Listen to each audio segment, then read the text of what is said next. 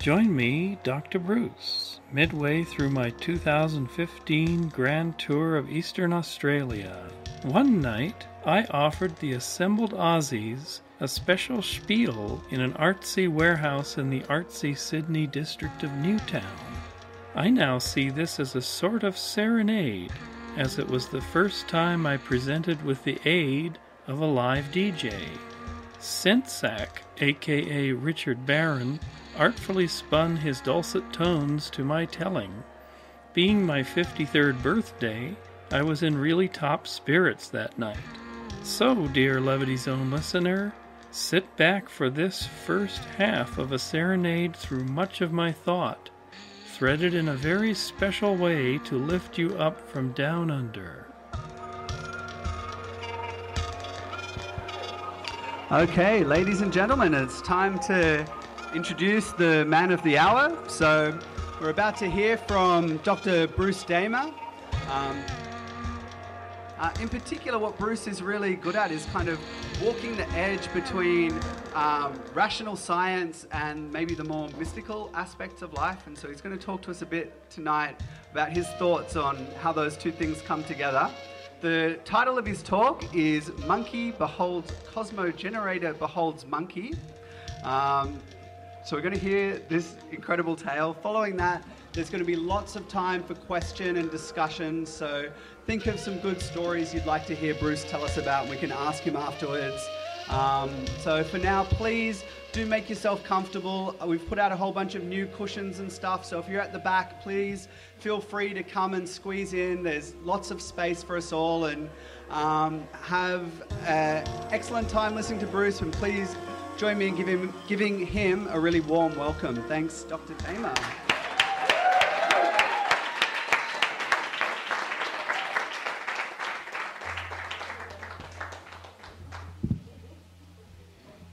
So, are we good to go? We're good to go. Our, our motors are repurring and our bottoms are occurring in the right place, grounded. So, uh, I come to you from the other side, from the other shire. I think of Eastern Australia as being like a shire, like a Middle Earth. Of course, all the Kiwis in the audience will say, of course, we are the Middle Earth, right? but Australia is the wildlands. Australia has a Mordor in the center around Alice Springs area. It's got the, the lush jungles, it's got the tree beards, it's got um, the what's that? The drop Okay, the drop bears. Whatever those are. I think that, you know, Aussies do need to have, you have so much vernacular now that Aussies need subtitling, like if they're on, on news programs, just like, what's a bogan? Uh, you know, I'm staying down in Campbelltown, so I'm, you know, now I'm understanding what a bogan is. and Andrew Jones uh, texted me just before coming here and saying, "Watch out for the bogans." And we were in some shopping mall surrounded by them. But uh, so I come to you from another shire called Northern California. It sort of stretches into uh, Oregon, Washington, and whatnot. It's a, shri- it's a shire where the hobbits have decided that they like their weed so much that it's becoming legal. So, despite Saruman's complaint that that uh, Gandalf smoked too much of it, everybody seems to be at the moment. So, yeah, we're, uh, next year California will legalize marijuana, and there's going to be stores the size of Costco opening. and there's a billion dollars in venture capital going into just vaporizer companies. It's just ridiculous. I mean, I mean, what's the population of Australia? That's the number of smokers in California.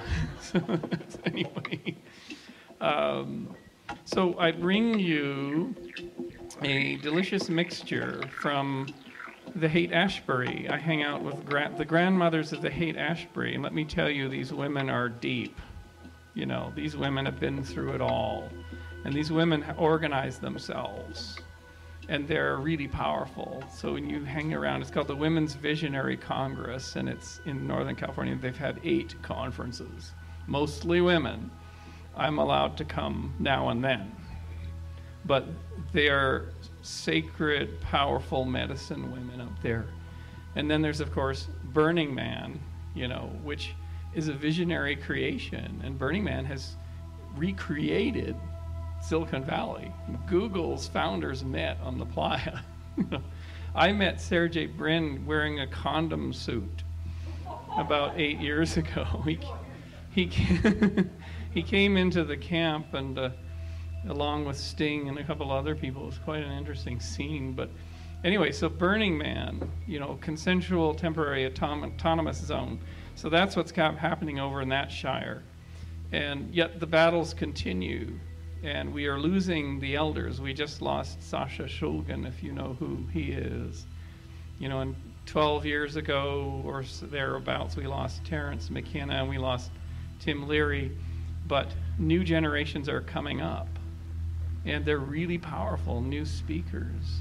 You know, one of them is our friend Rak Razam, who's greeting me in the Byron Shire on Wednesday, and we're doing a whole workshop there. And Byron Bay is a lot like Santa Cruz, where I'm from. I'm from in the areas up above Santa Cruz, and so those mountains up above Byron are kind of like where they're my like the other pole actually of where I come from. So I live in the redwoods. I have a farm with Galen we have a barn crammed with vintage computers. I've chronicled the whole history of computing. I've collected them all and I've interviewed all the people. I dug through John von Neumann's archives. I've got a Cray supercomputer that William Shatner beamed me out of about six years ago. You know, this Captain Kirk. You can watch that on the Discovery Channel. That was a blast. Um, but in one room is Tim Tim Leary's library and the news archive, all the way from the Harvard Crimson papers all the way up. It's an amazing archive. Uh, the chandelier from his house in Beverly Hills, which was all painted crazy, I, like Keith Haring crazy. And it hangs above our events so Tim can listen in. So, my vector to you is to bring some of that down under, you know, to get underneath you and to uplift you and what I do is we record these things, and it goes into my podcast called The Levity Zone, the Levity Zone podcast or Salon. So check it out. It'll be there, so your voices will be heard there. And why levity? You know, Terence talked about novelty. Remember, novelty, you know? Well, we have enough novelty. We need more levity. Why do we need levity? Because there's a force in the world pushing us down, right? When you wake up in the morning and you turn on the TV, which I don't do anymore, uh, when you just get word on the street, it's not a, a world of levity that's being presented to you, right? Is, does anybody feel the pressure? Do you, do you feel, I call it the pall that hangs over, and it's especially intense over the United States, this pall. It's like an energy field, it's like a living being. So, what I want to do is to tell you a story of where this may have come from. What is the source of this anxiety, deep inner like discomfiture? The source of this panic, what is it? And so, what I do is I have a practice I call endo, and it stands for endogenous. And all roads, in a sense, meet at Endo. And I recently discovered that what I've been doing since I was nine years old, it actually is something chemical. I've actually verified this. But what endo is, is how many of you, when you've had a really stimulating day, you know, when you're, say, little, or even now, when you've had a great conversation, or done something, you know, ballsy and like jumped out on a bungee cord or something, and your whole system is just up. And then you try to go to sleep at night, and you see flashes appearing just behind your eyelids. Has anybody seen those sort of flashes and like, or fields, and it's just like, oh my God, look at all this stuff, and you think it's overcharged. You're overcharged, right? You're just kind of, oh, I'm just had a big day, and uh, you know, I'd like to go to sleep now, and most you, you go to sleep. Well, I started seeing these things when I was about eight or nine. And it was after our father would read us a chunk of the Lord of the Rings. So he did us this beautiful favor, my brother and I, of reading us the whole Lord of the Rings. I think he did it twice before we went to bed. Now, that could give you dread. It could give you, you know, fears about the orcs and the Uruk-hai. But for us, it just turned our imaginations on. So when I would close my eyes, I would see these shapes and things moving. And I would say, I love them. They're so cool. I, they're amazing. I want to see more, please.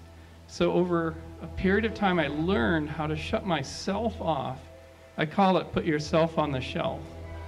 Try to shut off everything language, memory, lists, everything until these flashes start changing. Because I wanted more flashes, you know, I wanted them to resolve into something, and they did. And so over the years, I learned how to minimize myself down to a crystal sphere that could just barely see. It was barely present in the environment. And there's a story about that sphere I'll get to later. But then what would happen is this whole system would potentiate and it would convert into these washes black and red fractal washes going. And then I would concentrate on slowing the washes, slow the washes, slow, slower, slower, and then they would stabilize. And then they would turn into color blotches, and I would say, We're ready to go. We're ready. And it would open. Well, I would be piloting over landscapes. I'd be traveling at high speed. Stuff would be coming at me, entities flying across the scene. I was like, oh, goody, here we are. this is the, the good stuff. And then when I was 14 or 15, I started drawing this stuff. And they were, I called them the weird machines. I started drawing them. And then, as I got older, I thought, I can really live in here. You know, you're, you're bored at school. What do you do? You know, run a movie. You know, so I would record these endogenously made experiences. Them. I, I've used the word endogenous for about three or four years now. And I would put them on the shelf like a bunch of DVDs. And I could pull them off and run them again. And I could connect them and edit them together and make a bigger movie. And a bigger and a bigger and a bigger movie. And now what I'm doing is making big, deep movies for science, for designing spaceships, for viewing the Earth from above. It's like all one great, big, wonderful library. Um, so that's my story, that's my practice. And I can get there through yoga, through breath work, through sort of extreme nerding out. Uh, so you're so freaking tired and overdone that you just sort of collapse. You collapse the wave function, and suddenly you're in the space. And nowadays, the space is always running a little bit. And I sometimes deny it, and I get into the mode of I'm driving the car, and then I see a tree go past, and the tree has a certain shine and shape to it, and then I boom, I'm in that space, you know.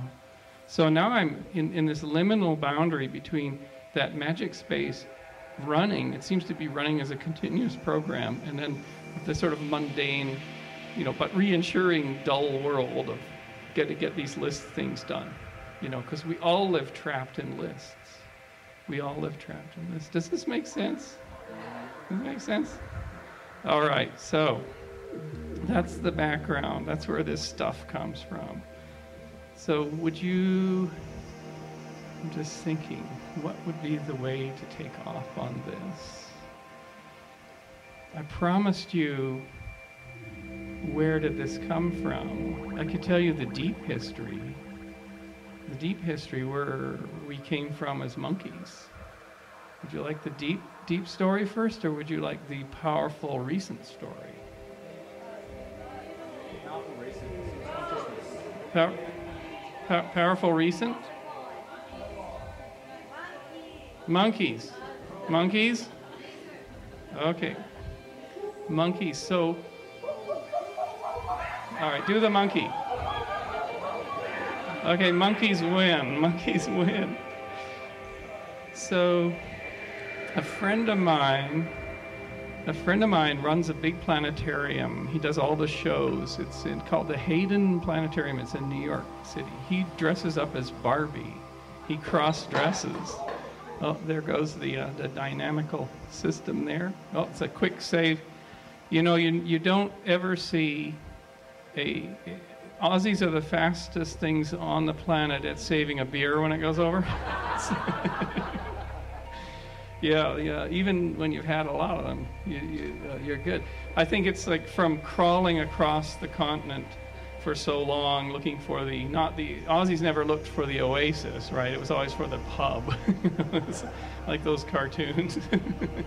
they go right past the water. anyway. Monkeys, monkeys. All right. So um, we, uh, what was the planet like 300 million years ago? Are there any like paleo people in who study like this? I just am obsessed with studying the phases of the Earth. Anybody know what was happening if you if you came into orbit 300 million years ago around the Earth? What would you see? Does anybody have, throw it in the air? What would You'd see the Permian, you'd see the Permian. Fish walking out Tiktaalik. No dinosaurs yet. Great. Giant mushrooms, yeah, you'd see those guys. They colonized the land first. Uh, but what you'd mostly see is a lot of green slime you'd see the older guys, the stromatolites that were around all the edges of the continents that still are around Australia. That's how out of date you guys are. You know, just think about that. You know, you still have stromatolites. The original smokestack polluters are still living in South Australia and Shark Bay in Western Australia. Anyway, I'm going to see them in July. I'm so excited. You can lie down next to them at night and get high on the oxygen they pump out. so anyway. I'm going to explain to them, listen, we're putting the CO2 back in, so you guys have a have a job in the future.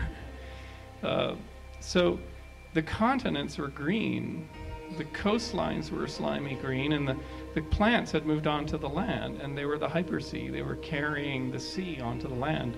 They just saw it as a big real estate deal, you know. The plants had taken over. The madre, the Gaian bolus, the plant planetary plant body. But it was mostly green it's just green, green, green, green, green. So if you were a cycad, an, an attractive cycad, and you were trying to attract a mate, or you really wanted to get in with that cycad or that huge tree fern over there or such and such, you couldn't get to her. So you couldn't have sex. So what did the plants do? They seduced the insects to allow them to have sex. And how did they do it? The first thing was the pink leaf the leaf colored pink with the little stamen stuck into it. Pink is the, is the universal color of attraction, girls. You've nailed it. So, pink. And then over the time that this occurred, there was a point in the angiosperms dominated, and the whole planet went multicolor, went kind of psychedelic. But then there was this period where, and I kind of like to talk about the planet as having a kind of personality. And I think of it as a woman. And I think of the woman as being made up of all the plants.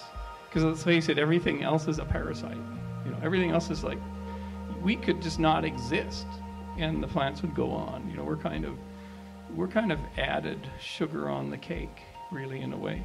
So I kind of like to think of it in the following way that if Madre is evolution and evolution is in a hurry, evolution has only got, it only had, you know, three and a half billion years to, to condition the atmosphere to generate the citric acid cycle to lots of energy to then colonize the land and do things with bodies, you know, and it's kind of running out of time, right? It, 500 million years from now, no more forests on the continents probably at the rate things are going. So the Earth is getting a bald spot, you know, the glaciation's more severe, the deserts are widening.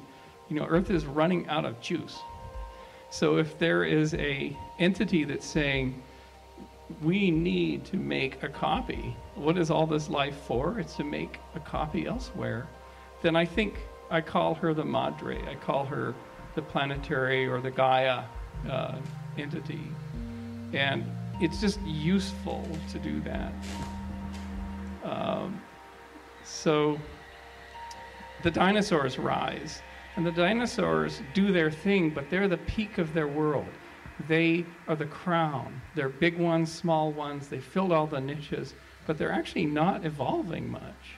They're not, they're not really pushing the state of the art forward. They don't look skyward. They don't build city buses. They don't fly, you know, fly to the stars. They don't have language in the way we would think it.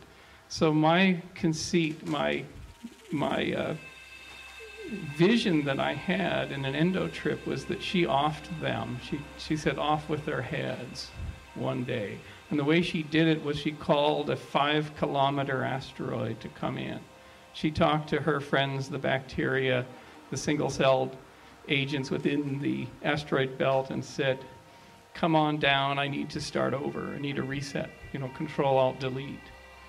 But what was living in the rainforest canopy was our ancestors, our prosimian ancestors. And why do we know that? Because they found a femur bone this long, a femur bone that was this long, which was the bone of all of our, our, our is our progenitor, the ancestor of the, the primates, the monkeys, the lemurs, the great, you know, the great apes, us. And so science has figured out that there uh, were these insectivores called us, the prosimians, living in the rainforest canopy, running along limbs in colonies, great colonies. Can you imagine like ant colonies? We were two inches long, we had curly tails, so that we could catch a limb and we could so we wouldn't fall. And can you imagine the floods of them pouring along these limbs, going into holes, all as a tribe, as a group? This was us. This was us. And at night, we would sleep in these tight balls. This is the insectivore lifestyle. By day, we would hunt the dragonfly, was the big, you know, the big steak on the barbie you know, that was the, they were big back then too, so you'd need a whole troop, one to grab a wing, another grab another wing, and one to sort of whack away at the head and, you know, all that sort of thing, and bring, bring in the dragonfly. Then we would eat leaves, we would eat flowers, we would do all that, and then we would find fruit. We found sweet things, tree sap and fruit. So we had a burger, fries, and a shake diet. So if you feel guilty passing that McDonald's and going in when your, you know, vegan vegetarian friends are watching you, don't feel so bad. That is the diet of the insectivore. Burger, fries, and a shake. So I did an endo vision. When I heard it, when I read about this femur bone, I went into endogenous space and I, di- I dove in to this world and said, What was life like? What happened? What happened to these creatures that made us? And what came was suddenly I was in the dark. I was the observer sphere, and there was the ball of them. It was a particular colony. They were all in their nice sleepy ball. It was at dawn, and there was one of them pulling herself out of the ball. She was like a teenage prosimian and she, I called her Overdrive for reasons that you'll understand later. So she unwrapped herself from the ball very carefully, and she was climbing out on the limb. Why? Because she saw the slight glint of tree sap that come out of that tree, out of that the phloem and xylem of that tree during the night, and she wanted to, to suck that down. She wanted that for herself because that was property of the community at dawn. But if she could only get there and she could get the majority of it, why? Because it made you high. Get the picture? So she goes out there, and you can see this in the insectivore world. The, opportunist, the explorer, the seeker. Overdrive was that. She had a brain the size of a pea, but she had initiative. So she gets to this sap and she takes her prosimian lips and puts it on the tree sap and she's sucking it down. It's instantly charging up her whole neuronal bundle. It's instantly putting her in an elevated state. And then she looks back at the, the colony and says, I hope they don't notice me because I'll get busted. You know, they're going to come and really come down on me if they see me doing this. But no matter. So her other eye looks forward on the limb, and what does it see? This vague color pattern, squares.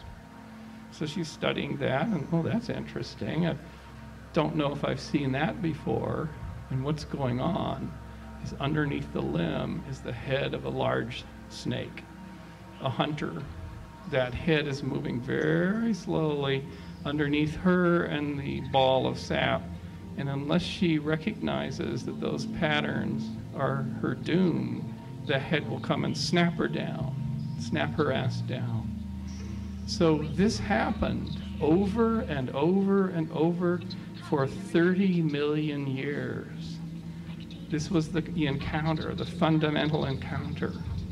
Did the elevated state and did her cognition and her growing ability to d- discern color allow her to just in the right moment leap up and run to safety and warn the colony too for that matter this happened over and over and over until the madre the forest that was set up this thing had created vision had created an animal us that could do amazing things. It could see in 3d it could see in discrete color patterns like no other animal before. Snap, jump, snap, jump, snap, jump, snap, jump. The driver, the driver that gave us vision, that gave us vision. So roll the clock forward, and here we are. There was a moment uh, where when the Madre ordered the airstrike, and this is my funny version. She pulled up her lawn chair, saying, Okay, off with the dinosaurs' heads. I've had it. I've picked these prosimians. I love them dearly. Why? Because through their eyes, I can see me. They are the first entity that can see the rainforest and show me who I am. So I'm just going to knock off these dinosaurs who basically pick them off as popcorn when they fall to the forest floor. And we're going to start with them again. And so she orders the airstrike and gets nervous at the last minute and orders slightly bigger one. It comes in, and my friend Carter has modeled this with a thousand computers. What happened? This thing comes in and hits at Chicxulub and near where Mexico and Yucatan are. It's so powerful, this bolide, that it goes through the Earth's crust into the magma. And as the Madre watches, says, "Oh, that felt really good. That was made my made my build, my eon, and up comes the sheet wall of, of, of, of molten earth, this, this incredible curtain wall that's about 3K high. That comes down, and the tsunamis are now moving around the planet. But unfortunately for the Madre, something else came up, and that was the droplet. So the droplet, the asteroid, the bolide was big enough and powerful enough to generate the droplet that comes up 60 miles across. And as she watched this go to orbit, she realized I have fucked myself completely today. Because why? That thing is going to go to orbit, split into molten mountains, and it's going to come crashing down. Those mountains are going to come down. They're going to impact the atmosphere and blow it apart. They're going to set it on fire. And then when they hit the forest, they're going to set those on fire. The temperature was 500 Fahrenheit within an hour all over the world. So the Madre went dark. The Madre, you know, was, she was burned. And just before she went dark, she said, I remember why we were doing this. It was for those little cute prosimians to go forward. But I forgot they live in the rainforest canopy, which is now all on fire. What was I thinking? So, boom, gone. After three million years, because the earth had such vitality, it had incredible vitality left, the forest roared back. The forest roared back, pole to pole, and the Madre came back to consciousness, and we were still there. How did we make it? Did we climb in some hollow log or something? One of the great miracles of history by which we made it through that. The dinosaurs survived as birds, supposedly. That's why I still eat chicken, because it's payback time, folks. It's payback time. It's karmically okay. anyway, can you imagine roasting a, what is the big dinosaur? The, uh, the Tyrannosaurus. Can you imagine that would taste like turkey?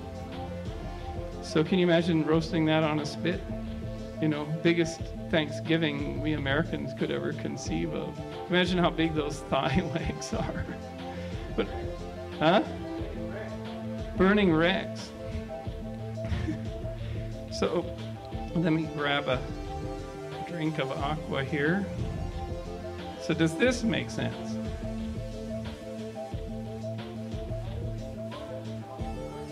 How do we survive the conflagration? We won't know, but what I'll tell you today is the serpent is alive and well. The serpent is called technology.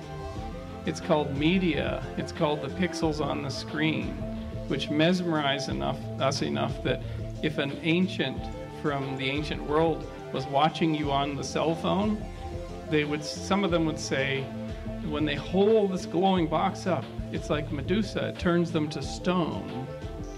It turns them into stone. So we, you know, cats will follow, you know, a flying bird on the screen for a while, but we're the only ones that are such suckers for this stuff because we were co-evolved with it to be that way.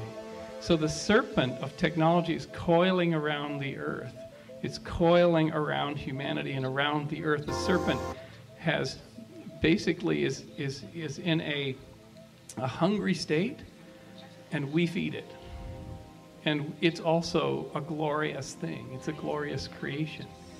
And more about that later if I can t- I will tie this all back together. So that's the old story. Would you like the middle story? The recent powerful story? All right. I'm going to bring something out here that I brought for you. It's in this little baggie. And it's not what you might think it would be. there, uh, let's roll our clocks to what was known as the Upper Paleolithic. The Upper Paleolithic was sort of a bit in between ice ages, and it had interesting characters like the Iceman. Do you kn- remember the Iceman? The guy that froze up at the top of the Alps. He was he was a shaman that carried a little baggie like this. He had he had rabbit's feet in this baggie and probably mushrooms or something like that. And he was climbing over the Alps on some mission. And this is during the Upper Paleolithic, during the, the period when it was all villages. Villages, shamans, little local agriculture, kind of, you know, not many in, much in the way of big cities, no big religions. It was this sort of this chill time. It was kind of like the Shire, you know, it's kind of like Hobbiton anyway. So this guy got offed. He actually got bashed in the head at the top of the Alps between Austria and Italy, and his he fell, and the guy that knocked him out sort of left him there, and the snows came and it preserved him in the ice. It's amazing. But he was a creature. He was a sacred, holy seeker. He was like over the overdrive of the Upper Paleolithic he was climbing over the Alps. I mean, it, it took some balls to do this. And the time before antibiotics and medical care, you know, every trip you took could be your last. So that's the Upper Paleolithic. Roll forward, and you see the beginnings of male dominance culture. You had Çatalhöyük in, in Turkey, which was an incredible city of like 5,000 souls that had no central avenue and people climbed through holes in the tops of the houses, which were sort of built together. Uh, and the holes were smoke holes, and it was like living in a different world, but in a city. And there were cave paintings on the sides of these houses, on the insides, and the ancestors buried under the floor. So Çatalhöyük was this weird transition thing. It's a city, but it's all like hunter gatherers. Pretty weird, huh? It fell, and then rising in the Near East was the bull cult, the first fully male dominated culture in Mesopotamia that we don't know where the people came from, but they worshiped the bull, and the bull pull, pulled the plow, and the plow, in their language, was the penis cutting the vulva of the earth and creating agriculture, displacing women as the gardeners, as the, as the sowers and the gardeners. Women were being displaced and domesticated. As the bull had been domesticated, women were the next to be domesticated. So this was going on in the Near East and you know really all over the world. This transition was going on to high tech, cities, trade, surpluses, war to defend surpluses. This was all cranking on, but something else was happening, something else a little bit more hopeful. Because if this thing that I'm now going to tell you about hadn't happened, we'd still be in that world of kings, the world of battles and kings and defending surplus and the bull and the agriculture what was happening starting in, in Greece and all over the Mediterranean were mystery cults or mystery schools. What mystery schools were, were tribal initiations. They grew out of the Upper Paleolithic when those people were, were wise to this. They recognized, hmm, if you've got young teenagers, especially boys, and you don't initiate them and level them down, level their bad tendencies down, you know, we call it bullying today, you get trouble later. So the elders of the community have to initiate. And this happens in Africa, happens in, in tribal cultures still. The initiation is key to long term health of a civilization. So these grew into the mystery schools. There was the Crete, the, the ancient, uh, the Minoans had them. They were in North Africa. But the greatest of them all was in Greece, and it was a day's walk from Athens.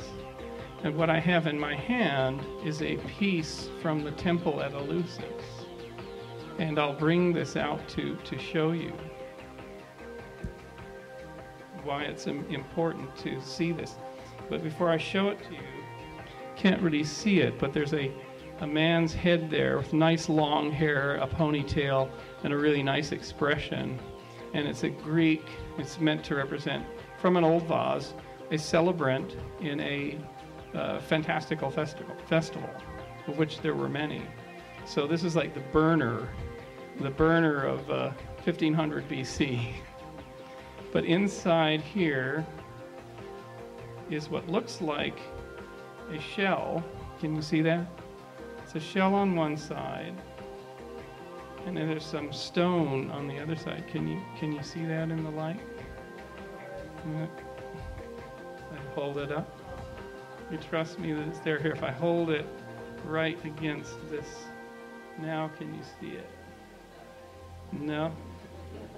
Uh,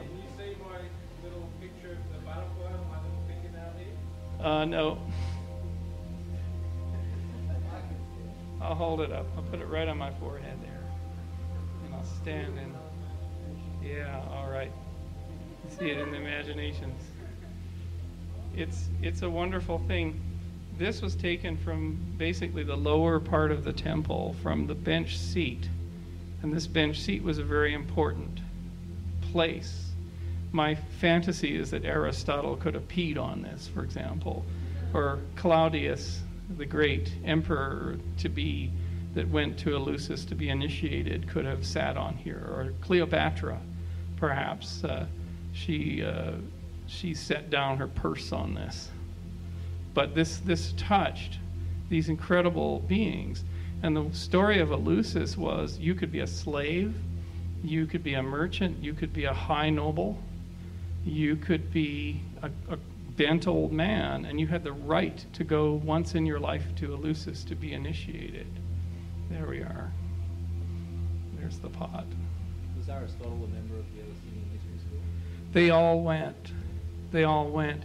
And what I would argue is that Eleusis and the other mystery schools were the liminal boundary between the Upper Paleolithic, between the Stone Age, and civilization. That civilization rose because of this. Why? Because those few recountings by people like Plato talk about it as being a transformative contact with the infinite that completely leveled you, where you were able to face the greatest fears in you and, and defeat them and pull through them and then have contact with, you know, what they wouldn't call God, they called the cosmos. That this was so far beyond words that it couldn't be ever put into words. And in fact, it almost never was because it was secret and under penalty of death to reveal the secrets at Eleusis. That was the rule for 1700 years. So the two, two or three families that ran Eleusis around 1500 BC decided to up the ante and they built the festival site and the site got built out and built out and built out until you had this, the telesterion, a building, massive building that could house a thousand people at once to do the ceremony. So the people would arrive in Athens by boat from all over the Mediterranean, or they would walk, which is a lot more risky, and then they would go through training. They would go through the lesser mysteries in the Athenian fold. They would be, you know, bathed and baptized, in a sense, in the oceans. They would go through all of this testing to qualify for the greater mysteries. And then the whole of Athens would celebrate them, that they were going to be converted from raw born entities, the monkey, and they would emerge from Eleusis being human beings. Human beings that could take the civilization forward, that would be honored and respected for having done that. And so when the, when the greater mysteries began in September, the initiates walked in a long column out of Athens up to the Eleusinian plain. And as they walked up there, they passed fields of barley. And the barley in the Eleusinian plain, some of it had a blue purple smut on it. Because barley can get that way. And if you make beer with this stuff, which is called ergot, it can poison you. It's pretty powerful stuff. And in fact, it was the basis for the discovery of LSD by Albert Hofmann and the synthesis of LSD from ergotamine. So, ergot rise and the poisoning, ergot, ergot poisoning was well known. Thousands died of this stuff. So that was, you were passing that. On vessels and remnants of the actual Eleusis temple, they're holding platters with mushrooms on them, serving people or showing people mushrooms. So, so there's a clue here, and in fact, Albert Hofmann, Carl Ruck, and Gordon Wasson wrote a book about this way back in the early 80s saying, We have solved the mystery they used a hallucinogenic potion that they had perfected. That was what was known as the kykeon, the drink that people took on the ninth day. We have solved it. It's a bombshell that hit this, the classicists who had been fascinated by Eleusis for 300 years. But these guys coming in, Carl Ruck is no slouch. I mean, he's a Harvard classicist, very respected. So these books are fantastic if you get get a hold of them. But back to Eleusis. So the thousand people, the initiates, are walking across the plain and they come to this narrow bridge, and the bridge is still there, the foundations are still there. And they walk across the bridge, and the bridge is so narrow and tight that it sort of compresses everybody. No wheeled traffic can go there. And on either side of the bridge are the townsfolk from Eleusis screaming and shouting cat calls at the initiates that are coming up. They're all wearing kind of rag like common garb, so they're being knocked down to one level. You could be a slave, you could be the future emperor of Rome. You, for that period of time, you were a, an uninitiated person. Didn't matter what your future was, what your pedigree was, what your power was. So a villager might say, Hey, you, you've got a really ugly nose. Or, Hey, you proud, young, you know, athletic type, you're going to be a bent old man like me someday. So why don't you give me some respect? You know, so th- they would knock them down they would continue to walk and they would come up to the temple complex. You can go there today. It's surrounded by oil refineries, the, the products of, in a sense, of the Eleusinian vision, the bad products. Um, but there's a museum there. But the telesterion is this enormous hall. And they would, in the ninth day, all congregate in the hall and suddenly coming in from one side were women dancing with these wonderful round amphorae on their heads, and they would dance through the crowd. This is from the remnants of what we know. Smoke would appear, olfactory things.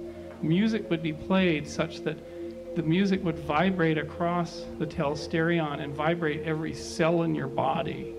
The Incans built such rooms too, incredible sonic space rooms. So you're already transformed by the setting and then would come out these vessels with the kykeon, and people would all drink of the kykeon.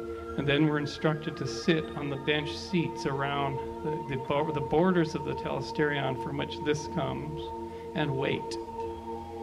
And what they saw next, we don't know. We only know it by sort of second hand, almost poetic comments.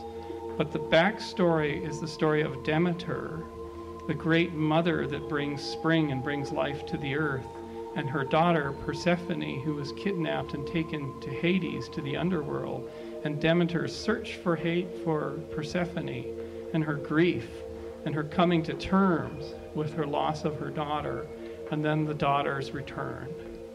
The daughter's return uh, with a new child and the rebirth of the world. So that's the backstory. But what is described by the Aristotles, the emperors, the writers, the poets, is a light came into the space, and the light was the light of the infinite. It was the most powerful thing they'd ever seen. It would leave an impression on them that would last their entire lives. It was something so great. It was something so great. And then they would leave after the ceremony. And these people didn't have cell phones, so you know, as they left the the temple plain, they didn't weren't able to get Wi-Fi and get back into their minds. They could contemplate this. They may have a month of travel to get back to where they came from. They could integrate the experience. And what, how did they integrate the experience? They brought us civilization. They brought us the brilliance and the genius of civilization. They invented the aqueduct. They created the scientific academy. They wrote the greatest poems. They created logic. They created the polity, the, the Congress and the Senate, trading systems, language systems, basically everything we still use. They didn't give us cell phone networks, but they gave us pretty much the basis the Roman grid, the layout of cities, everything. And then what happened to Eleusis? What happened to Eleusis has been discovered in the last hundred years. Uh, coming down from the north uh, in the year 396, it's estimated, was Alaric. Alaric was a powerful chieftain of the old Upper Paleolithic, the Germanic tribes. He was leading a, a huge raiding party, more like an army. Alaric and his forebears had sacked Rome several times. They had pretty much they were raiding and stealing the fruits of, of labor of civilization and bringing it back. And then the people of Rome would try to recover. There were periods of time where the people of Rome would simply get all their money together and pay the, the pay these raiding parties to go away, you know, pay them off so they could get a few more years of, of peace. But Western Rome was just getting hammered and hammered and hammered. And Rome had died and been suffocated by oligarchs by opportunist governors that would steal the money out of the public coffer and would get into a region and line their pockets. So, very much like when you see corruption today, Rome was falling. It was, it was tumbling. It had been totally gutted. So what happened to Eleusis? The Alaric's forces are coming in from the north, and from the east, from Anatolia, are coming the Christians. The Christians. But these are fourth century Christians. These are Pauline Christians. These are Christians who've come out of, of a century, almost a century of Nice, the councils of Nicaea. And if you read the histories of the councils of Nicaea, where they basically corporatized Christianity long after Jesus' passing and long after the loss of things like the Gnostic texts, Constantine decided to corporatize Christianity and make it into a state religion and they had these councils. And the, the, the skullduggery at these councils between Western bishops and Eastern bishops, and bishops planting prostitutes in the other bishops' cells to get them kicked out. You know, all that sort of stuff. The bureaucratic mumbo jumbo, which led to the formation of the, the Western Apostolic Catholic Church and the Eastern Orthodox Church was split because they couldn't agree. They, they, they were screaming at each other if you know about that history of the formation of these organizations, you would never be a member. Their roots it's just so rude, it's so ugly.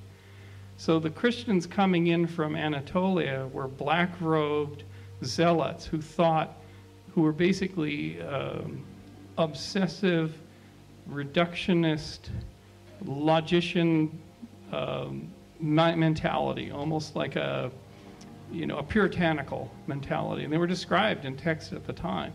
And they came in and they met Alaric's group on the road. They said, It's a good thing we met you, people of the Upper Paleolithic, because we need your muscle. We're headed to this place called Eleusis, and you can smash the temple for us. And they did. So, what replaced culture from that point on was a state organized religion without the variety of the multi deitic uh, celebrations of Rome, but a state religion with a taxation structure, but more importantly, with a worldview that said, you have no right and you in your lifetime to have contact with God or some higher power. We have reserved that right. We have layers of local ministers, and then we have our bishops, and then we have our popes. And you have to work your whole lifetime and pay dues into the afterlife and, and watch your P's and Q's, and you may be allowed into the kingdom of heaven. And sex is shameful, and the whole structure, you can list, list it all. So I posit to you that from that point on, we fell into an inferior culture. And the inferior culture wasn't even able to maintain the technology that came out of civilization. The Britons forgot how to make bricks for 300 or 400 years. They didn't know how to make bricks. You know, so this whole thing came crashing down. So, but the structures of civilization that still support Sydney, harbors, boats, roads, you know, ways of moving water, you know, ways of communicating, ways of organizing are from the period of Eleusis.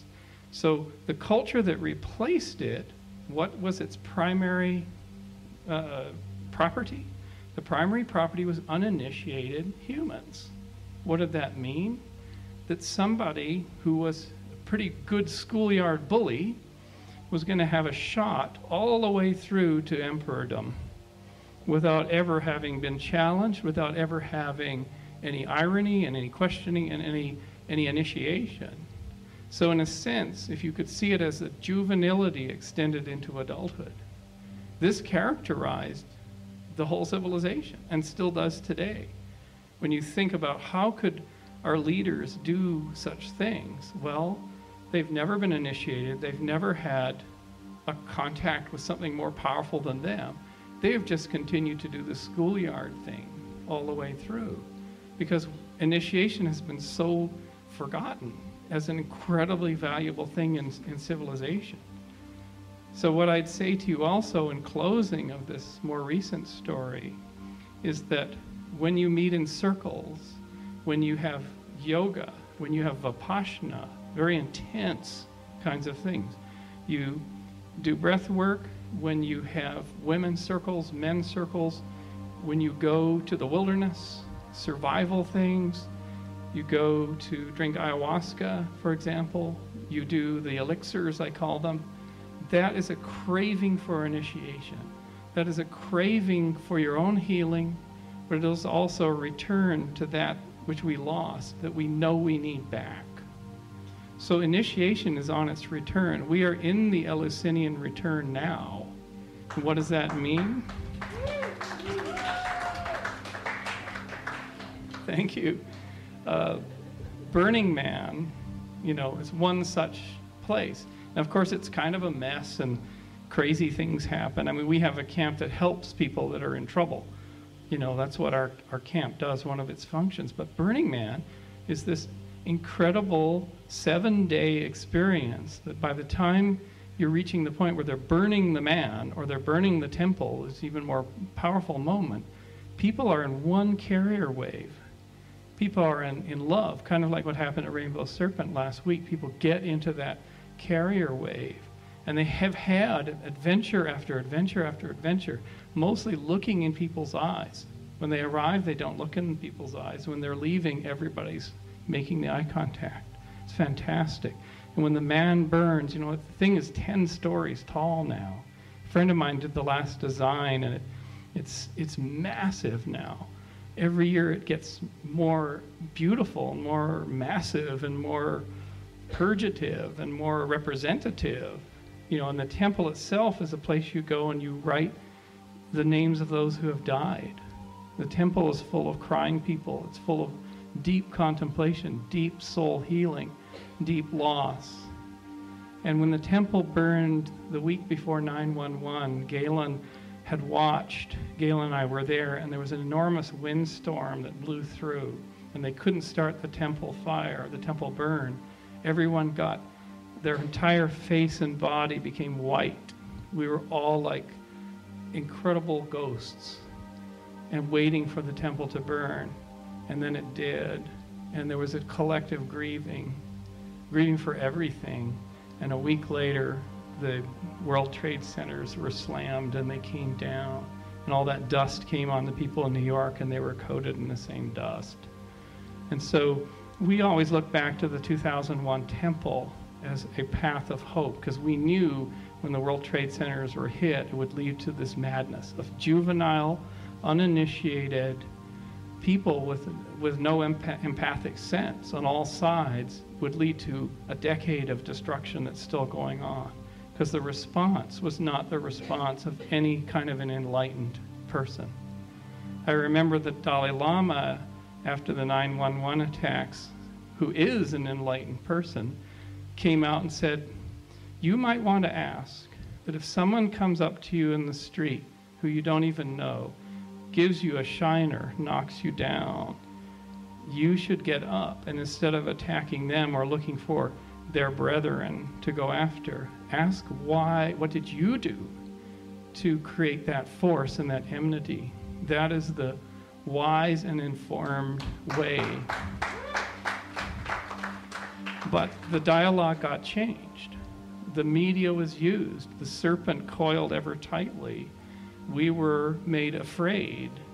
We were manipulated by these forces. And if you sat in the White House, as friends of mine did in the days after 911, what they decided to do was set up the White House Theater and put people in it, you know, from Condoleezza Rice to everybody who showed up. And they simply showed the attack over and over and over again on that screen until people were bloody in their minds. They were unable to think. They just went over and over and over again. It was like, we're using this to program you for our agenda. It's nothing about truth. It's nothing about forgiveness. It's nothing about finding out what we did that made this happen, our part in it. So it was a programming thing. So the, the monkey is sitting and it's watching the screen. It's watching that snake because every time those towers were hit, it was like the two fangs we're cutting into you more deeply. We're going to control you. We're poisoning you to go and support our program. You know, we knew where that went. So it's a bit of a downer, but the upper is We see this truth. We see what's happening. No one is to blame. One of the things that Terence used to say that I would always appreciate is he said, The horrible news is, the frightening news is, no one is in control. There is no conspiracy, there's no cabal, there's no Illuminati. No one is driving. It's all a response to crisis and, and ever mounting crisis. No one has a plan. But what that shows is that it's very weak. The leadership and the vision is extremely weak. Another fellow that I went to see last year, his name is Bob Woodward. And Bob Woodward gave us a talk. And Bob Woodward was the journalist who outed Richard Nixon for Watergate, right? Bob Woodward faced power and rode it through at risk of life and limb to bring down a president, right? This guy doesn't have fear and he knows the presidency well. And what he told us in this talk was he'd just been at the Obama White House so he could observe this current crop and potential future crop. And he turned to Obama at one point and said, Buddy, you have no clue how to wield the power of the presidency. You have no internal energy and surety and certainty. You're this weak flip flop uh, conciliator, and it's tearing apart any of the good you could do. He's not a Lyndon Baines Johnson. But at lunch, he sat next to Hillary, and at one point, Hillary, you know, elbows Bob Woodward. This is sort of not a smart thing to do. You know, elbows him, turns to him, and in her Hillary voice said, You know, Bob, you fake it till you make it. And Bob said, These are the kinds of people we have. You know, and we think of them as sort of the good crop. You know, there could be worse ones. There were worse ones. You know, George W. Bush could never have gotten a pilot's license because of his addictions. You know, so how did he get into the job that he got into? No initiation, no one watching over. So the good news is we see this truth now. We see the game that's going on, and we see that it's weak. You can push it over one example, and this is an example you won't have heard probably from anyone else because it's so kind of dull, really. Do you know who Angela Merkel is? Angela Merkel? Angela Merkel? No, the German chancellor. The story of Angela Merkel has never been put forward as a powerful story, but it is. I just read the whole story of her she was an East German nuclear scientist in East Germany, where to survive, you had to be very careful. You had to navigate very, very carefully, very observant woman. What she did after unification is she joined politics. She joined like the main party and she watched, as she described the vain males fighting over the future of Germany. Vain males and, and stupid males. She was sort of shocked by the low quality of these leaders and she watched and she gradually moved herself into position. Some of them fell away on their own. Some of them attacked her, and she was just a you know a faithful party functionary. She was extremely brilliant. She could she was a scientist. She could pull together so many things. She was also very pragmatic, very non-ideological, but she was incredibly astute. And one day, she basically put her finger out and pushed over the last vain male and became chancellor. And she's chancellor for a very long period, and she's totally transformed Germany. So when Putin's doing something, there's Angela Merkel saying, hmm, another one, you know? I'll just, I'll push in the boundary that way. Greece has done its thing and the Eurozone is collapsing. She's just there as the center, keeping it together but not giving in. She, and she has a, what they call in Germany, a a, a soup bowl haircut, you know, no stylishness, no vanity, no pretensions of power in Angela Merkel. So I would, I would say to you that Angela Merkel, how, however dull she is, she is a better future. She's a pragmatist. She is doing all the things not for personal reasons. She's brilliant. She's low key. And she's a woman leading Germany. You know, and none of these men survived. Uh, they, any, they crossed her, they didn't survive. Within a few years, they were gone. So that's the recent story. Would you all like to take a bit of a break now? A bit of a break, and then we'll come back? You're welcome.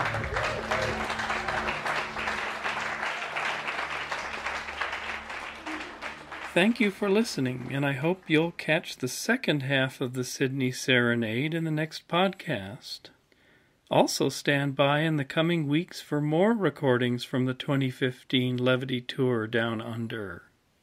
My warmest thanks go out to Vince Polito and the Sydney Spore for hosting and emceeing the evening, the good folks running Create or Die Studio, where the serenade was held, DJ Richard Baron, aka Tsentsak, and a special acknowledgement of Craig Brown, aka Slinky and Snudis, for his truly artful lighting and photography that generated this episode's cover art. Another shout out goes to Bo Millward for his help with audio editing, and as always, thanks Jacob Aman for his artful work on our cover art.